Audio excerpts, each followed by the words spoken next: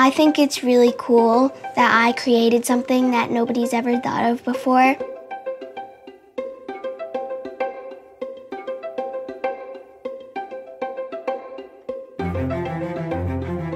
When I grow up, I want to be a problem solver. I'd say probably the driving force behind her inventive spirit is that she's always trying to prove that she can do something.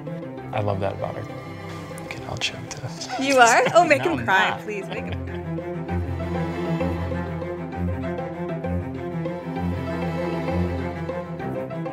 The Inventor Convention had different things you were allowed to invent. This past year, it was To come up with something that would keep kids away from screens. And I like daring myself, so I chose the Inventor's Challenge. My invention is called the Kazi.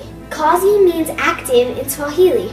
It keeps kids away from screens by earning a code if they're active, and when they get home, all of their screens are locked down. So she does not have the full code. She cannot use any of her devices. This is just a prototype of the wearable. And the last of the industry awards is the Technology and Wearables Award. This is presented to the inventor with the most innovative new technology application for advancing our world around us. When they announced her name, I, I yelled. It, it was It unbelievable. was surreal.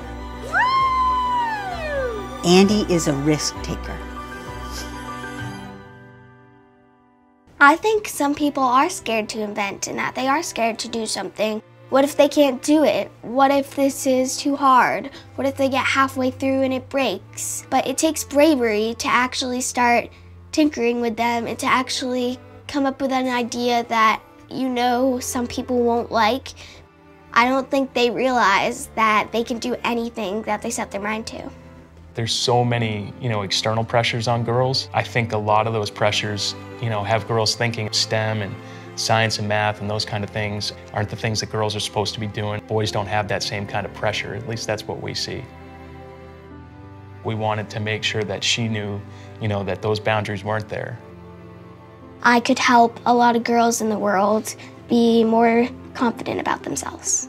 It was really great for her sister to see too. Andie encompasses already an overall confidence that I certainly didn't have at that age. There's so many problems in the world. We have problems to solve every day Car crashes, earthquakes, tornadoes, transportation problems. and hurricanes. My hopes are that she sees how important she is going to be in our future.